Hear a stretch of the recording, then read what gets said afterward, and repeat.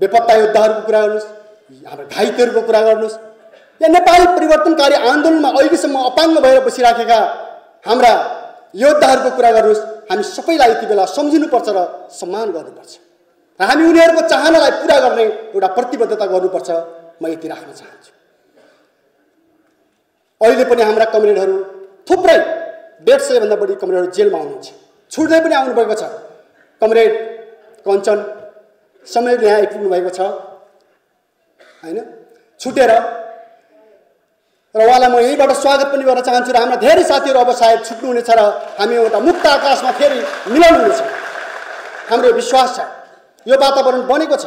यसको लागि नेपाल सरकार र नेपाल कम्युनिस्ट पार्टी हामी दुवैले एउटा जिम्मेवारी पुरा गरेको अनुभूति भएको छ। मित्रहरू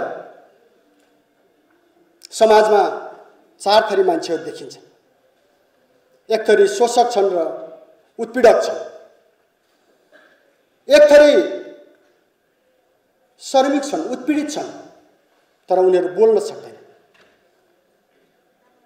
तेस्रो थरी मान्छेहरू अलिअलि गुनगुन त गर्छन् गुनासो त राख्छन् तिनीहरू उठ्न सक्दैनन् जाग्न सक्दैनन् तर हामी कम्युनिस्ट हामी जति बेला अन्याय हुन्छ जति बेला आफ्ना मान्यताहरूमा घात लागेको मान्यताहरूमाथि हमला भएको महसुस हुन्छ। आफ्नो देशमाथि अतिक्रमण भएको या कसैले हस्तक्षेप गरेको अनुभूति हुन्छ। अर्का नागरिकहरू छन् जो उनीहरू विद्रोह गर्छन्। हामी कम्युनिस्टहरू हाम्रा मान्यताहरूमाथि हमला हुँदाखेरि हाम्रो आकाङ्क्षामाथि हमला हुँदाखेरि हाम्रो देशमाथि धावा हुँदा हाम्रो देशमाथि कसैले अलिकति गिद्ध दृष्टि लाउँदा हामी विद्रोह गर्छौँ। हामी विद्रोह गर्ने मान्छेहरू र विद्रोह गर्दै अहिलेसम्म आएका छौँ। तर कम्युनिस्टहरू विद्रोह मात्रै गर्दैन।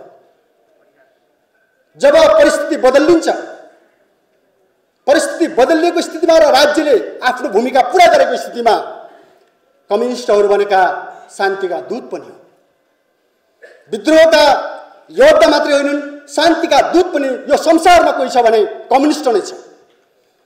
सम्पूर्ण उत्पीडनलाई मिल्काएर समाजमा दीर्घकालिक ढङ्गले न्यायपूर्ण समाज स्थापित गर्ने विचार दृष्टिकोण र आकाङ्क्षा कहीँ छ भने त्यो कम्युनिस्ट आन्दोलनसँग छ। त्यो हामीलाई विश्वास छ। त्यसैले त्यो आकाङ्क्षासहित हामीले सङ्घर्ष गरेका छौँ।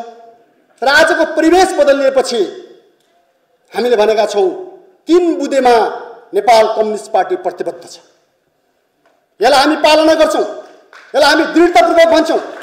यहाँ कसैले पनि कहीँबाट पनि आशंका या विभिन्न ढङ्गले यसलाई उत्तेजनात्मक या अर्को ढङ्गले कुतर्क गर्न जरुरी छैन।